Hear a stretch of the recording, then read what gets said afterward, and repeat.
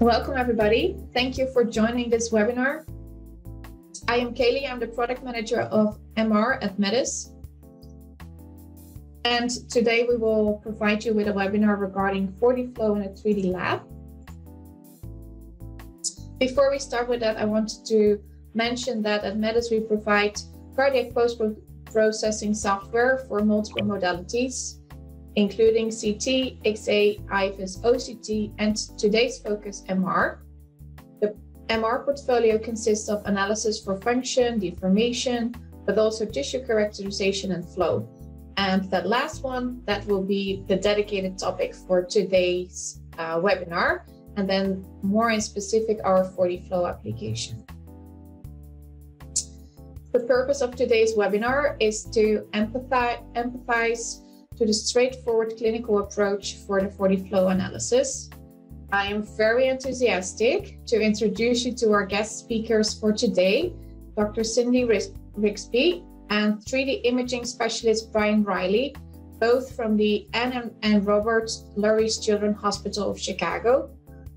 The Lurie's Children's Hospital has a dedicated pediatric CMR program and perform over 500 cases each year. During this webinar, uh, both Dr. Rigsby and Brian will run you through their daily clinical use of the 4D flow analysis. Uh, thank you again for that kind introduction and to Medis for sponsoring this webinar today on a topic that's near and dear to my heart. So my objective today will be to first uh, define what 4D flow is, demonstrate why I use 4D flow, uh, to talk about then 4D Flow post-processing workflow, and my 3D Lab colleague Brian Reilly will demonstrate 4D Flow post-processing from a 3D Lab technologist perspective using case examples.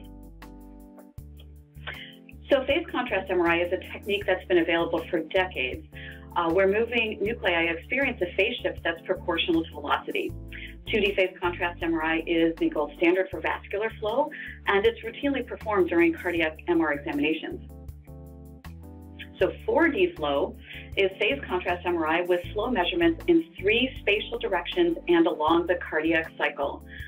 So 3D plus time equals 4D flow. And you can see on the image on the right, there are three uh, phase images all in different directions, and we have the magnitude image as well.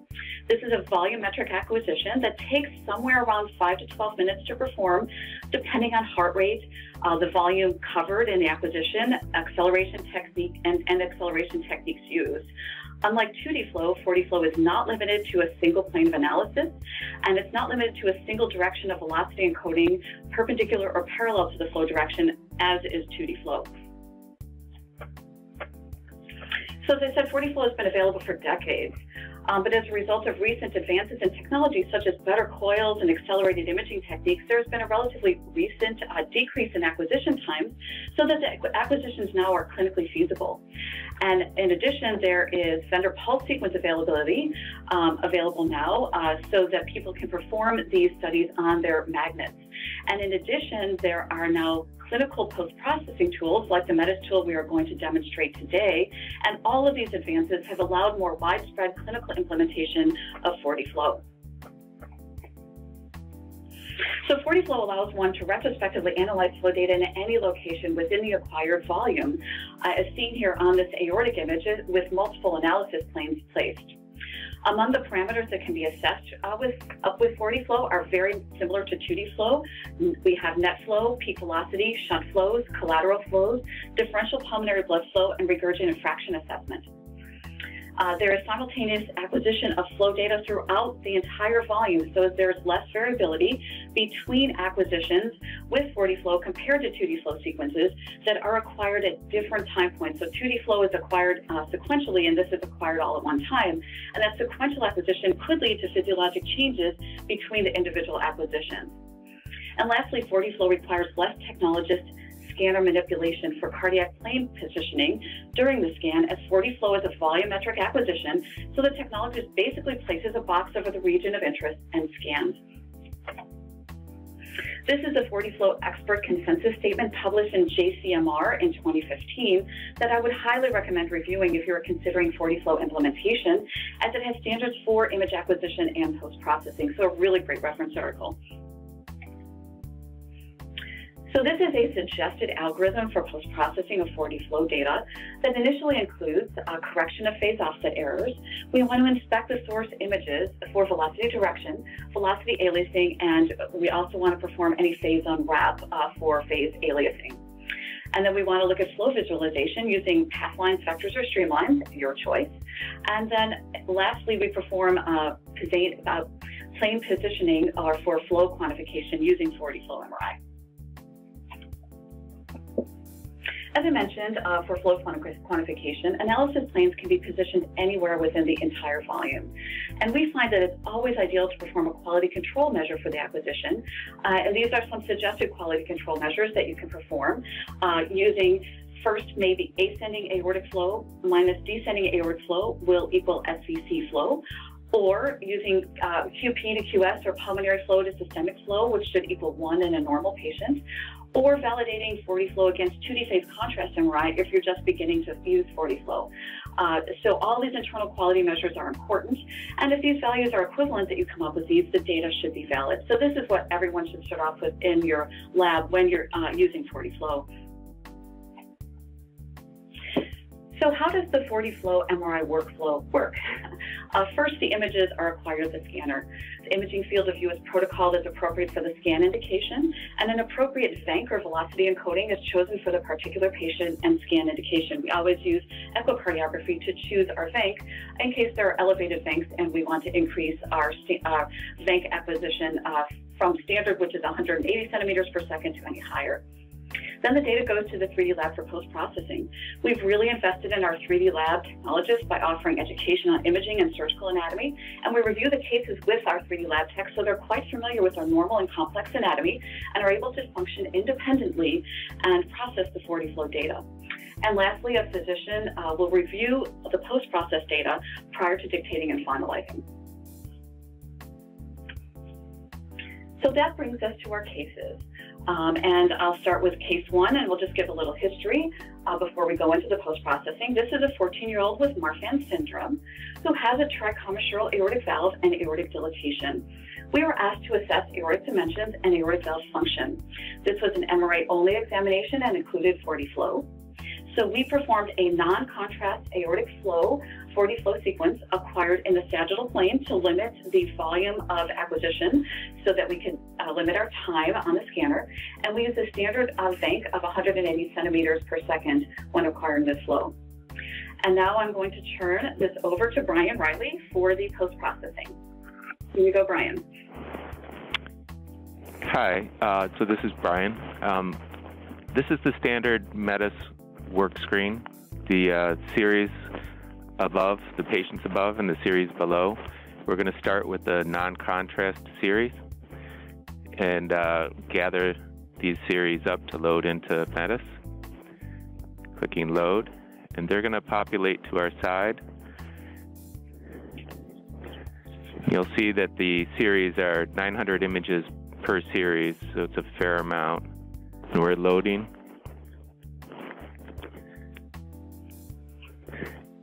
And the series loaded into Medis will uh, show up to the side.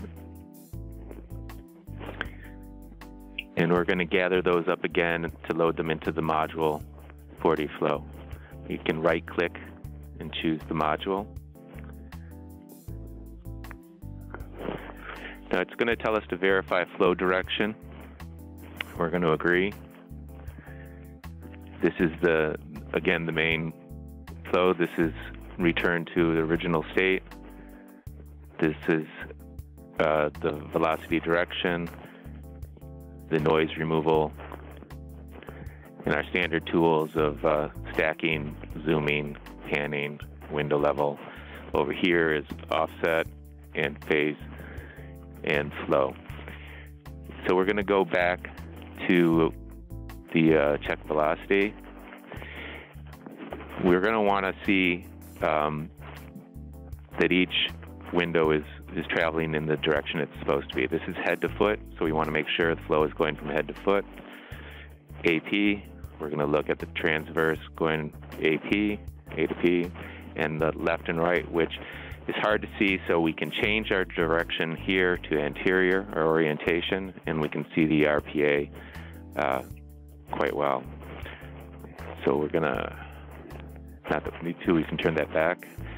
Now we're going to go to our regular view, which is the 3D view.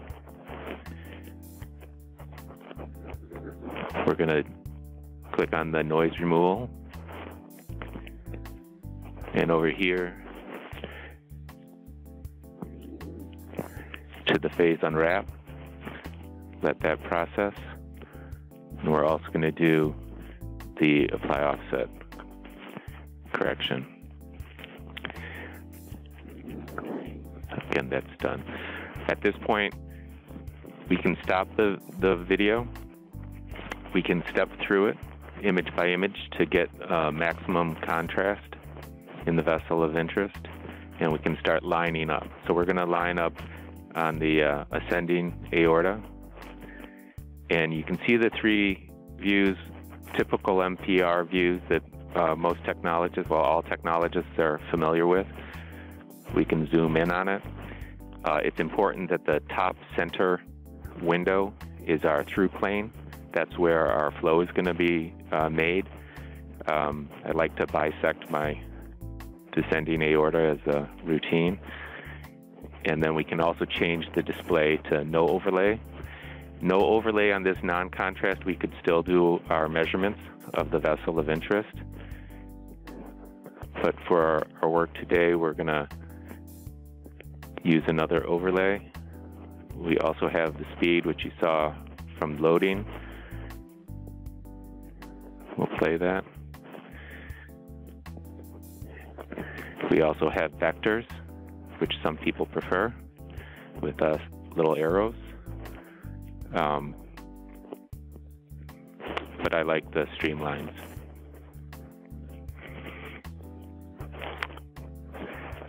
So we're going to let that flow and we can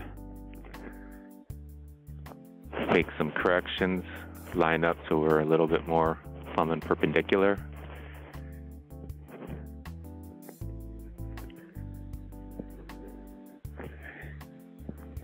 And play.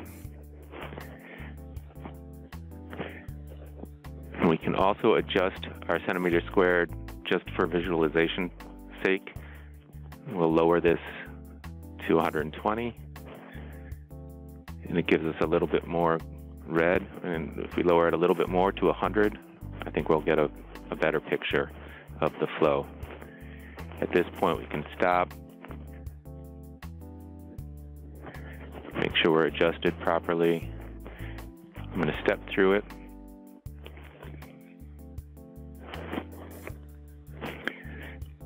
And I can take pictures to add to the report, just a right click, and you'll see that you can click that snapshot. Supplying these uh, three pictures to the report helps our radiologists and our cardiologists confirm that it was taken in the right place. And we hit the flow tool, which is going to create our traditional kind of 2D flow. We uh, scroll until we get to uh, the maximum or close to maximum contrast. And we're going to add, uh, for some systems, we, we need to add the uh, patient height. So if you go to this little report, click on it. I'm just going to drag it over and we can add the patient height just with a double click.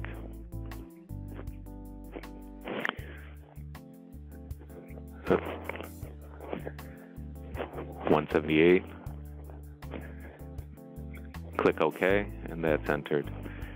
From here, we're going to draw uh, contours around the vessel of interest.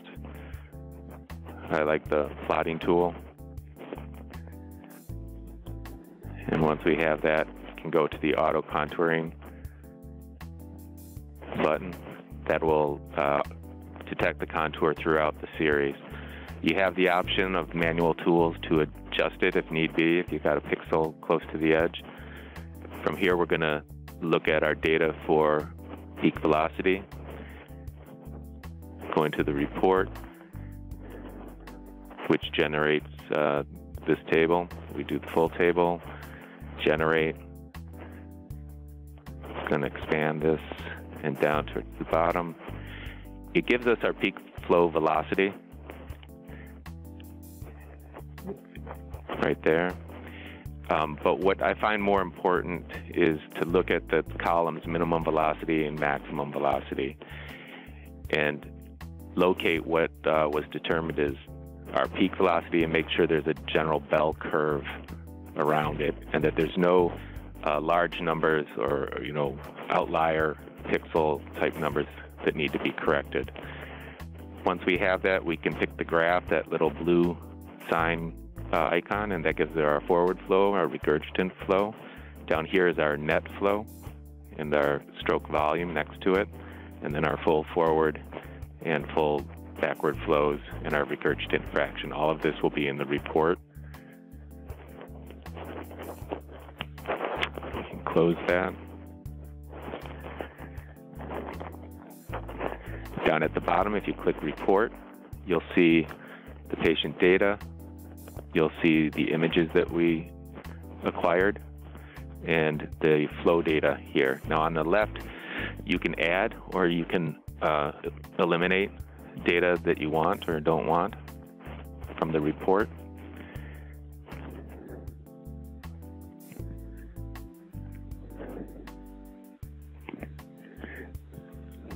You can also uh, eliminate the uh, images if you didn't want to keep those. At this point, of course, doing more flows for this, I would save the session and I would title it flows. This way, um, our cardiologist and our radiologist can reconstitute this before it's sent to PACS. They can review it. Uh, we can address anything that needs to be changed. And when they get to it, we're going to go back to the browser. You'll see it down here. And it's a matter of double clicking. It'll reconstitute just like a saved state and they can make the adjustments that they want to make. Um, that's the end of the case one. I'll go hand it back over to Dr. Rigsby. Thanks, Brian, for demonstrating that great case. Let me just say that I've seen that there are comments in the um, question and answer box, and I'll address some of those at the end. I'd like to get through some of our cases, and then we'll talk about those. So please know that I'll definitely go through and address those. Um, so for this case one, um, to review this patient is a Marfan syndrome patient. Um, as we measured our dimension, uh, the aortic root was severely dilated with a maximum diameter of 30.9 millimeters. And remember that he's 14 years old, so we're uh, looking at that for, you know, per his body surface area for his size. Um, the patient has no significant aortic stenosis or regurgitation. We can see that a regurgitant fraction is effectively nothing, 1.9% on this um, data set. We have a peak velocity that we've calculated here of, you know, about 75 centimeters per second, but know that we always go and look at various um, points on the in the ascending aorta to look for peak velocity if that is our main uh, goal of the study. In this case, that was not a, a, concern, so we did not go ahead and do that, but we would in a, in a case where it was a specific concern. So the take-home points for this case are that there's ease of data loading into the um, 4D flow module. The velocity assessment can be performed in any plane throughout the entire uh, aorta or other vessels, and vessel measurement is possible even on non-contrast magnitude images. So then we'll go on to case two. This is a patient, a 14-year-old with tetralogy of Fallot, who had a transannular patch repair who has um, moderate to severe pulmonary regurgitation on echo, also mild pulmonary stenosis and mild RV dilatation. We were asked to assess regurgitant fraction, RV volume, RV function, and the branch pulmonary arteries. For this case, uh, we performed a standard cardiac MRI, which included functional analysis. We also gave a gadolinium-based contrast agent for the MRA and performed late gadolinium assessment as this was our first study in this patient uh, at our institution. For the 4D flow, we looked at whole heart 4D flow, meaning we uh, prescribed our box of data to encompass all of the great arteries and the heart. And for this webinar, we're just looking at flow in the vasculature, but you can also look at intracardiac 4D flow. We use a standard VENC of 180 centimeters per second, given that there's no significant elevation of velocities um, that we were aware of by echo in this patient. Just to give some background data from the functional analysis, the index RV volume was mildly dilated, 160 milliliters per square meter. Right ventricular ejection fraction was normal. LV index volume was 57 milliliters per square meter with a normal ejection fraction, and the right ventricular end diastolic volume to the left ventricular end diastolic volume was about two, so the RV is dilated. And so I'm going to turn this back over to Brian to demonstrate the post-processing for this particular case. So we're going to uh, move down to this pulmonary patient. And again, you can see it's denoted as gadolinium. We're going to gather that up, load it. These are a little bit higher, 1440 images per series. So 7200 images are loading. And we're going to gather them up to put them into the module. We right click, choose 4D flow. Again, we're going to skip over, um, this time we're going to skip over the directional uh, it, I did it earlier. and um, we're going to start lining up uh, or, or, go through our regular thing of noise reduction, uh, phase, unwrap, and apply the offset correction. Going to magnify.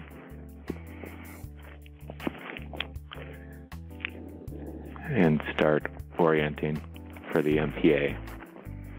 We're going to try to get uh, far enough away from the valve not to have that hinder us, and we're going to step through and look at the contrast. A little adjustment, a little adjustment, and change it to the streamlines step through it, step back. I think I'll change the color a bit. So 140, and that looks that looks pretty good. So I'm going to save the snapshots.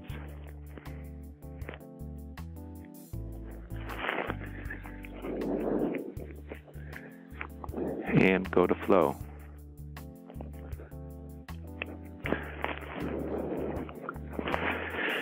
So we're going to, um, again, like the previous one, we're going to do the flow, but this one is a little off, so I'm going to adjust the contrast, window it down a bit.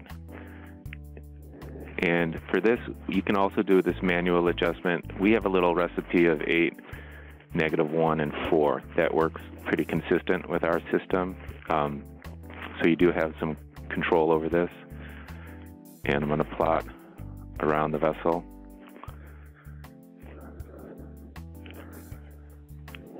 And choose auto contour. And it looks pretty good, but uh, it looks like there's one or one or two slices that need to be adjusted. So I'll use the regular tools and just plot around the vessel again, tighten that in.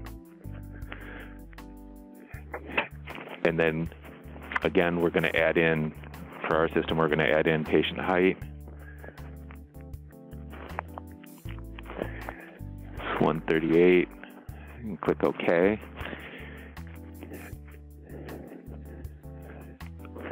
Check that. And now we're going to check our peak velocity through the report.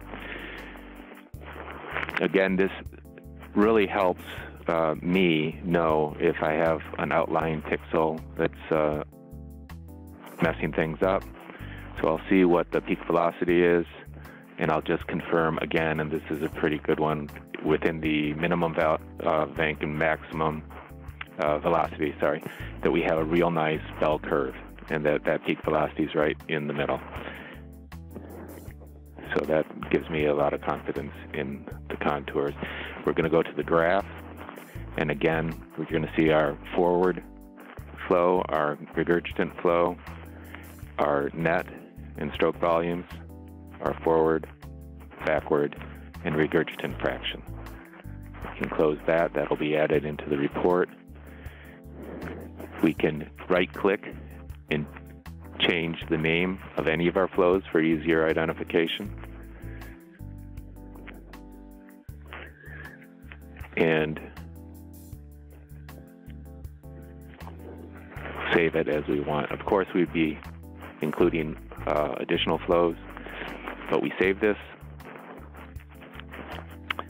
And then our, uh, let's see.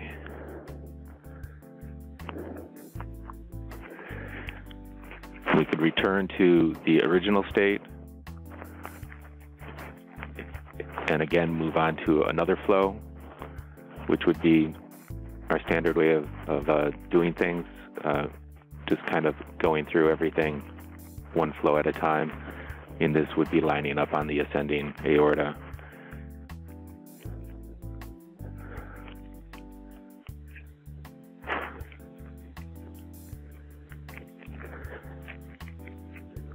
And moving on.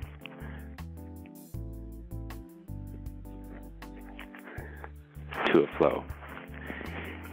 Again, the report shows the images that we've captured, the data. Again, on the left, you can add and, and delete anything that you want to include or exclude. We can exclude the uh, images if uh, they're not necessary for your report. And again, we would save this for the doctors. And uh, that's the end of case two, and I'll hand it back over to Dr. Rigsby. Okay, so um, case two was a patient, as we said, with tetralogy of Fallot, who has a mildly dilated right ventricle.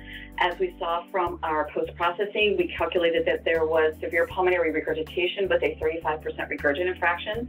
We would have gone through and measured, and we're not going to demonstrate that in every case, but measured the branch pulmonary arteries and found them to be um, moderately to severely dilated. We would also assess our branch pulmonary artery flow with flow assessments in the right and left pulmonary arteries. And at that time for this patient, we calculated that there was a differential branch pulmonary artery flow of 53% to the left and 47% to the right. Um, so the take-home points for this are that we can calculate uh, regurgitant fraction and differential uh, pulmonary artery blood flow from a 4D flow sequence, and that vessel measurement, again, is possible on post-GAD images, a little better visualization following contrast than without contrast, but certainly possible either with or without contrast. And then I'll take this to the next case, which is our last case, and um, this is a 12 year old who has a double outlet right ventricle whose status post the Fontan procedure. We were asked to assess ventricular systolic function, look at the Fontan circuit, assess differential pulmonary artery blood flow, and collateral flow. Um, I'll just remind people for just a, a, general patients, people who may not do congenital heart disease so frequently, that the Fontan circuit involves a total cable pulmonary connection, where the superior and inferior vena cava are directly anastomosed to the branch pulmonary arteries, as you can see in the diagram on the right with the arrow. There's no intervening pump, so we have a low velocity circuit. And therefore, um, we purposely acquire our images at a low velocity encoding of 80 centimeters per second to optimize the flow assessment in the um, Fontan circuit. However, just know that this may lead to aliasing in the other vessels, so phase unwrap in this situation will be important, and Brian is going to demonstrate that. We acquired uh, this case using ferumoxytol, which is an iron-based contrast, and yields substantial T1 shortening. Um, and as a blood pool agent, uh, opacifies the entire blood flow pool, which is really optimal for Fontan assessment. Uh, as I, uh, in this case, we acquired, of course, whole heart 4D flow because we're going to be looking at multiple vessels. And as I said, a VENC of 80 uh, centimeters per second. Just a little bit of data on the ventricular uh, aspect of things. We had a right ventricular and left ventricular combined index end diastolic volume of 72 milliliters per square meter and um, right ventricular to left ventricular ejection uh, fra uh, fraction combined of 51%, so low normal. For a Fontan flow assessment, this is uh, it can take a while uh, for normal 2D phase contrast acquisition, as we would perform about 10 to 12 flow measurements that all have to be programmed by the technologist at the scanner if we're doing them individually as 2D flow. But as I mentioned, physiology can change over the course of measurement, especially in an awake uh, patient for 2D flow. So 4D flow in these cases offers simultaneous acquisition of all the flow values. And but that leads to increased post-processing time. So that's where the time is, but it does save scanner time. Um, and so it's important to make sure that your technologists are educated on all of these flows and how to acquire them um, with the 4D-Flow tool. And uh, in this case, Brian is going to demonstrate flow assessment in just in the Fontan baffle, but know that we, we have performed all of these uh, Fontan flow assessments for a complete evaluation of this patient. So I'll turn this over to Brian. So the third and last, we're going to go to the Fontan patient. And we're going to go down and gather up those series, load them. You'll notice that there are uh, 1,440 images per series. And as it's loading,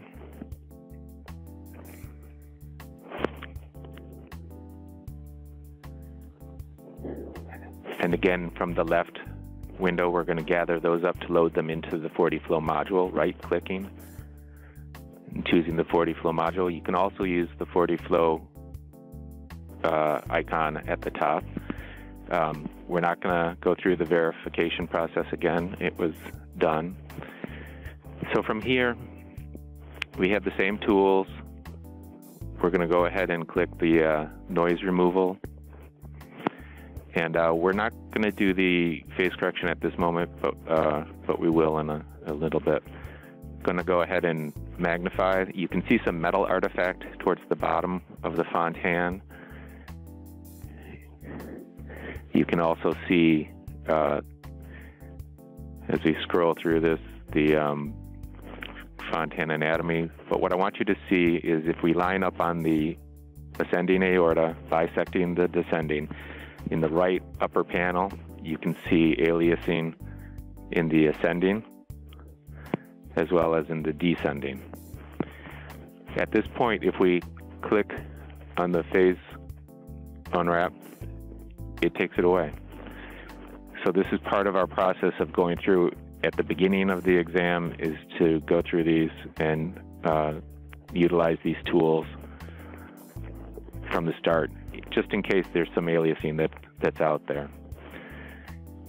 So at this point, we're going to go back to the return to original state, line up again on the Fontan. You can see this is the IVC at the top.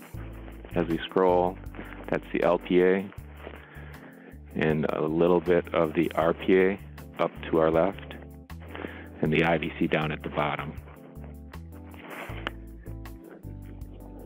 We're going to put on the streamlines and we're going to change our centimeters per second to 45, which gives us a, a good range of color.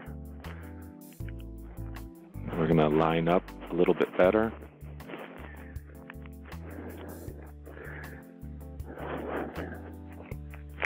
And slow it down a little bit. You have control over the speed and step through it to find some good color. I'm going to go ahead and take some snapshots. Just do that one. And play and make a flow. So we're going back to the more traditional 2D,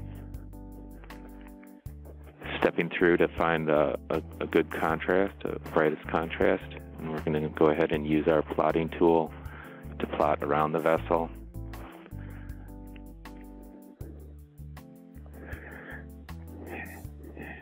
And hit the auto contour. Now it looks a little off on the left. You can adjust this a little um, but for this, we're just going to move on a, a, little ahead. We're going to add the patient's uh, height, 145. Clicking that. And we're going to go to our view, report, to get the peak velocity, clicking the full table, generate, and expanding it. And again, seeing what uh, was determined as the peak velocity and verifying the minimum velocity, maximum velocity columns.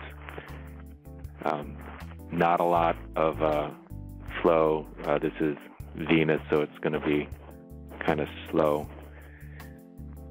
But we still get a general bit of a bell curve and no out- outlier uh, pixels. The graph, you can uh, again see the net and stroke volumes, our forward flow, our backward flow, and our regurgitant fraction. And we can return to our main window and we can rename this. So we're going to rename it as Fontan Pathway. Down here, down at the bottom, you can see the tab. And we're going to do a save as. And again, we would be doing more flows, but for our demonstration, we're just going to call this Fontan flow. Save it.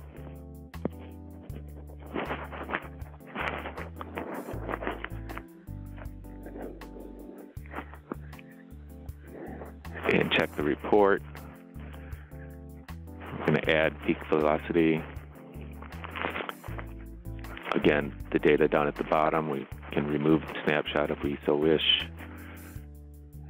And that finishes the third case, and I'll hand it back over to Dr. Rigsby. Wonderful. Well, thank you, Brian, uh, for that great demonstration. And to sum up case three, this, as I said, was a 12 year old with double out right, ventricle who had a Fontan procedure. We found that there were unobstructed branch pulmonary arteries with excellent visualization of the anatomy with ferumoxytol. I don't know if you noticed, really, the images were are beautiful.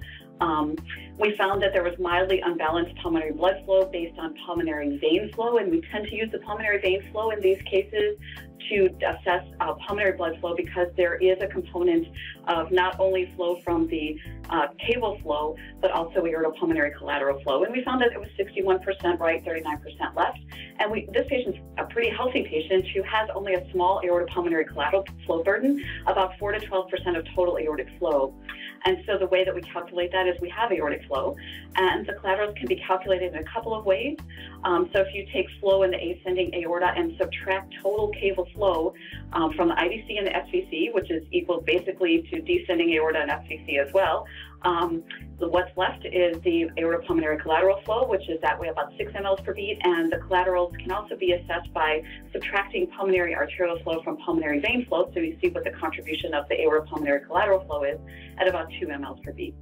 Um, so a really great demonstration of this case, and the take-home points from this are that you can phase unwrap uh, using the Medis tool, which is excellent.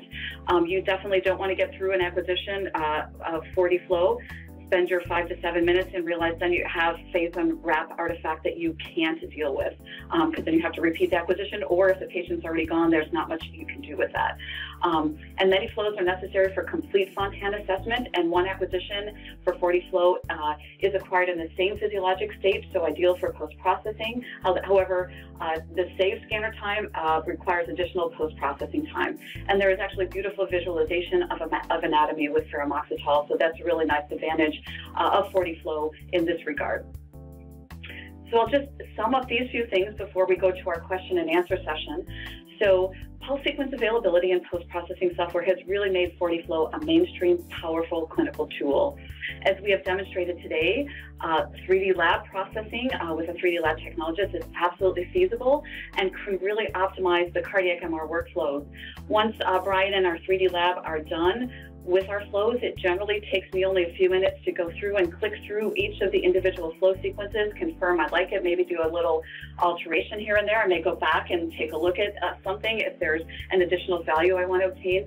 But really, this really streamlines things to let the radiologist and cardiologist uh, work on what they need to work on, which is putting the report together and analyzing the images, and lets the 3D lab work at the top of their level as well uh, in order to get the post processing done. So I'd like to thank everyone for the attention. Um, I don't know if Kaylee, uh, uh, you have any additional comments you'd like to make before we address the questions? No, thank you. Very uh, clear presentation. Um, let's indeed uh, dive into the questions. Okay, I'll dive into the questions um, and we'll go back and start off with it says, Could I share some comments about uh, 4D flow protocols in children and infants? I absolutely can. Um, one thing you want to be sure of is that you're not acquiring your 4D flow images uh, as the standard adult protocol. Most most vendors now do have a 4D flow um, commercially available tool, and that will be, of course, the acquisition that you'll obtain will be optimized for an adult. And if you're scanning small children or infants, you really have to look at the spatial resolution of those scans in the field of view so that you can make sure that you have enough pixels across each of your vessels.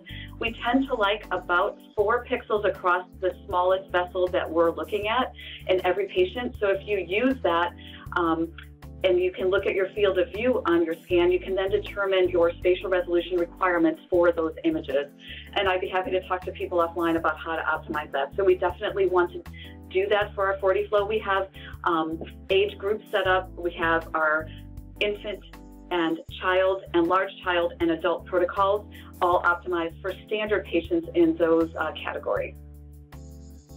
And uh, the next question is, uh, so have you used your Siemens machines to do 4D flows? Um, that there have somebody's having some difficulty uh, getting the software. Uh, yes, we do use Siemens machines for obtaining 4D flows. The images that I'm showing today were acquired on our Siemens scanner. We also have GE scanners in our house, um, and we use these. Uh, we use the standard Siemens uh, commercially available tool for our 4D flow assessment. So um, I would definitely recommend that you check in with uh, Siemens, your vendor, a representative for availability of the pulse sequence because it, it's out there. Um, the next question is how does the pressure gradient correlate to uh, echo cath pressure gradients? And and I think this is a this is something that we could talk about for probably a couple of hours but I'll just kind of summarize it as this. Um, the the gradient that we're measuring with cath is, of course, under probably some sort of sedation anesthesia, instantaneously acquired with with uh, wires or catheters in a cath lab. What we're acquiring with MRI is using flow with a patient either sedated or not, uh, potentially more physiologic if not, and we're acquiring our peak velocity over multiple heartbeats because as you remember, like this sequence takes about five to seven minutes, so it's non-instantaneous, and we're actually sort of averaging multiple heartbeats to get what we're getting. Um, so we're, we may be measuring slightly different things, but the beauty of this is, um, and, and, and the question is, how does this correlate? It may correlate pretty well, especially if you're using peak velocity. We've actually done measurements to calculate how well we correlate with echocardiography. We haven't done as much in the cath lab, um, but we've compared our echo with cath, and, and things do come out pretty well. So if we use uh, cardiac MR to echo, I can definitely say that using 4D flow MRI and finding our peak velocity assessments using 4D flow and the different planes, we can get an excellent correlation with our peak velocity assessment with echocardiography. And then I think people are very familiar with how echo correlates to cath. So I'll kind of leave that as how to best answer this question. Um, and then the next thing is, does color tell me the flow velocity or the direction. And I think this is where everyone needs in their systems. So what we're looking at here, and, and I have this uh, this color coded um, aorta is still showing. What we are seeing is velocity. So um, what we're looking at is only velocity and direction of flow. You can switch from streamlines to vectors to path lines. And so in this case, we're looking at a velocity encoding. So where the red is, is increased velocity. Where the blue is, it's, it's lower velocity. And that scale can change. As Brian showed you, you can uh, uh change the scale of velocities that are um, displayed on your, on your acquisition, with the maximum being your peak bank. Um, and if, if, you want to look at more flow direction, you can switch to vectors. Um, so that's very helpful to show the direction of velocity flow. And that's a simple click that Brian showed in our in our assessment, a simple click of the uh, in, in the tool, and that can change from color coding to uh, vector encoding. And that can give you a better direction assessment. And uh, I hope that answered that question. And the last question uh, that I have in the in the tool is, can one bill separately for 4D flow acquisitions, or does it fall under velocity mapping? And I'm, I'm sorry to say that there is no additional bill, at least available right now, for a separate 4D flow acquisition, that it does fall under the velocity mapping, which is part of CPT code, at least in the United States. Um, I know there are others in other countries that may not have the same billing uh, requirements, but in the US, we can bill for velocity mapping for 4D and 2D flows similarly. Um, and I think we have one last question here that has popped up. For severe internal carotid artery stenosis greater than 70%, it is extremely difficult to recognize the signal of blood flow in the most stenosed point. However, velocity at that point could be as high as 200 to 300 centimeters per second as detected by ultrasound. So how do we solve this problem? And I guess the question is, how do we assess for peak velocity um, in, in any vessel? And I, in when I think 4D flow is optimal for this. We really do try to get a 4D flow acquisition that is along the entire course of the vessel. So like this, we can see the aorta. We've laid the aorta out here, and then we can look for peak velocity assessments. And sometimes I use the color to help me. I'll drop the color scale as Brian has showed, and we drop it in this case to 138 centimeters per second. You can see that we have a little red right there in the ascending aorta um, and I'll point, I can point that out where our, um, where our peak velocity is. And if we actually do our acquisition, you know, our velocity and uh, flow assessment there, it's a great way to find a peak velocity assessment. And I can say that there's some research tools out there as well that will look for velocity in the entire volume of a vessel. That's not something that is part of this tool now, but I think that's, you know, these are things that are coming along in the future as 4D flow post-processing clinical tools are developed, I think we'll have more, um, more tools available. But for now, I do think that using the color scale to find the peak velocity and then doing your velocity assessment right at that level is very helpful. You can use in-plane and through-plane assessment with this uh, 4D flow Medis tool. So if you can't find a single plane in the transverse plane, meaning perpendicular to flow that you like, you can always take an in-plane flow, so parallel to your flow direction, and get a peak velocity assessment from that as well, just like you can for 2D flow. So I hope that has answered all of the questions. Um, are there any other questions out there? Um, Dr. Rigsby, I noticed one other question in the chat, uh, but okay. I think it's more a Medis related item. The question there is, is there or will there be an option to create a DICOM dataset of the velocities in motion that can go to PACS, especially with the streamline colors? So I, will let you answer that, Kaylee. yeah, sure. So the um, the uh, flow measurement that is done, that specific um, location can be taken as a separate uh, DICOM dataset. Uh, at this moment, though, it's not uh, possible to forward this DICOM part towards PACS. Uh, all the different images are able to send to PACS. Um, so um, we have heard of this request before, so it's on the backlog, but it's currently not in the product. And um, I will just add, as you can see, these videos are from the Medis tool, the one that I'm playing here, um, or maybe it's stopped playing now, but this, um, this video is from the Medis tool. And you can clip these videos in PowerPoint for PowerPoint presentations, however, they are not yet available for PACS. I do know that our surgeons really love to look at these images, um, and I do think that it will be very helpful when Medis has this available as um, a standard tool. But for now, if you want to clip these images, in, in your own um, environment, you can certainly do that and then use that for conference uh, presentation or for assessment with surgeons uh, or cardiologists as well. So um, thank you for that question. Is there anything else that uh, I can address? Uh, well, thank you for answering all the questions. I would like to finalize um, this meeting with some uh, last um, notes.